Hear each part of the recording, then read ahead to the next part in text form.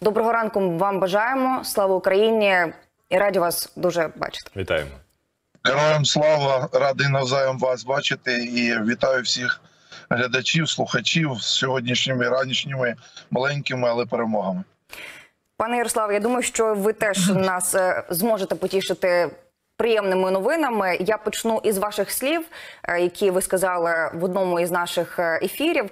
Ворог не пройде крізь батальйон Свобода. Цей батальйон ніколи не відступав і не здавав свої позиції. Які новини ви можете розповісти з околиць міста Бахмут? Ми в цьому впевнені. Ну, частина нашого батальйону продовжує е, службу під Бахмутом. Бахмут для нас вже став не тільки знаковим місцем, не тільки тим містом, яке ми вже практично полюбили. Ми скрізь нього починали воювати ще в Рубіжному, проїжджаючи крізь нього, і бачили його ще зеленим, квітучим, з працюючими е, транспортом громадським і зеленими вулицями. На жаль, від Бахмута зараз мало що осталося, але ми продовжуємо за нього битися. Але це вже е, принципова боротьба, яка е, сходиться до того, що з півночі і з півдня е, намагаємося взяти Бахмут величезне кільце. Ну, ми свою роботу на своєму фланзі робимо. Е, Робимо її дуже креативно, е, не сидячи просто і відсиджуючи на позиціях, коли немає активних бойових дій, а вишукуючи ворога, працюючи е, там, де реп не достає, бо це величезна для нас проблема на сьогоднішній момент, маючи завдячуючи нашим друзям, партнерам, нашим помічникам, волонтерській службі, fpv дрони, які можуть вражати військову техніку ще на підходах до наших позицій. А це відповідно береже солдат, береже піхоту. Це саме головне. Е, Ми, е, маючи fpv дрони і дрони спостереження з репом, нічого не можемо зробити. Тому наш батальйон продовжує збирати на засоби радіоелектронної боротьби для того, щоб бути більш ефективним на нашому напрямку. А так, ну можемо хизуватися. Е, На жаль, не можу називати точні цифри, скільки танків підбито, але це більше ніж е, більше ніж е, 10 точно. Скільки бронетранспортерів і особового складу знищено. Ну ми дуже ефективні, дуже стараємося, вишукуємо постійно нові орієнтири, нові цілі. Е, На нашому напрямку ворог знає, що таке батальйон свободи, що таке сила свободи, що таке е, бригада Рубіж, і намагаються на сьогоднішній момент не те, щоб обходити, а не дуже активнічать, тому що всі їхні активнічення закінчуються тим, що вони знищені, що танки горять, і піхота вже навіть не думає йти в атаку, як раніше вони е,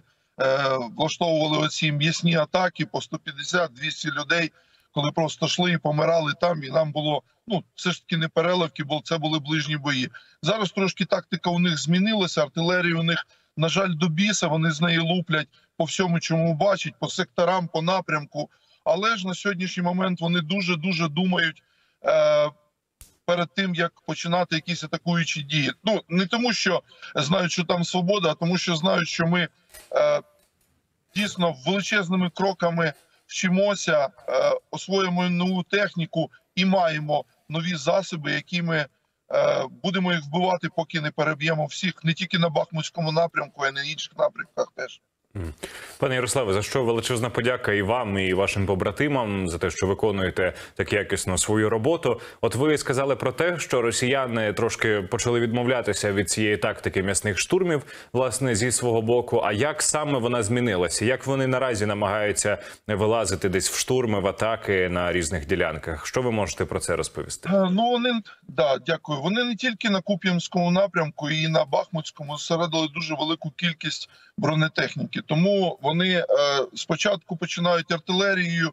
Ну, все по класіки совєтських учебників ведення бою. Потім артилерія, а потім піхота. Ну от е, на рівні танків ми їх і в принципі, так як артилерію, ми е, не маємо змогу всю відслідкувати, тому що наголошую, що контрбатарейна боротьба теж у нас ну не хромає, але не на тому, навіть не на тому, я думаю, рівні, як у москалів.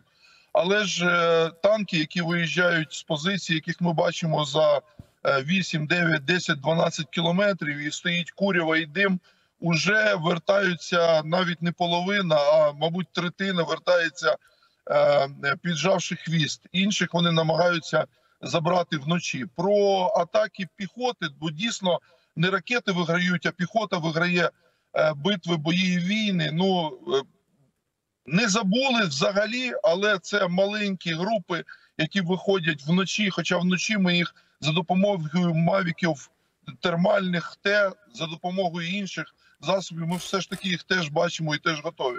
Хлопці працюють 24 на 6, ніяких перерв немає, вихідних немає.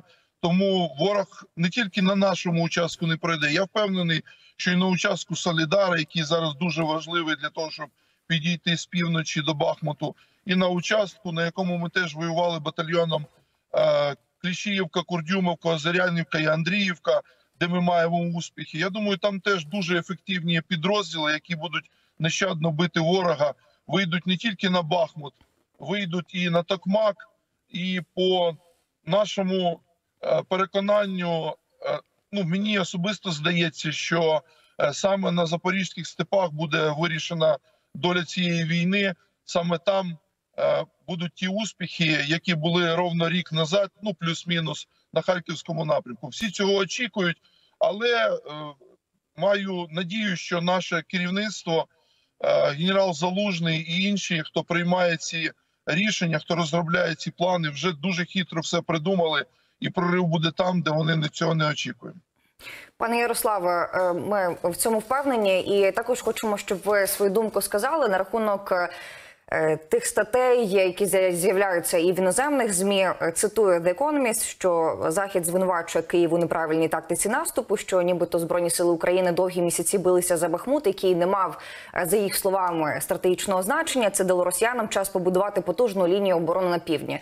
От можете ви дати свою відповідь на. м, слова е, цих аналітиків, які сидять десь за кордоном і пишуть про те, що ми щось неправильно робимо, і от зараз наголосити, акцентувати на важливості е, міста Бахмут і на його стратегічному значенні у цій війні.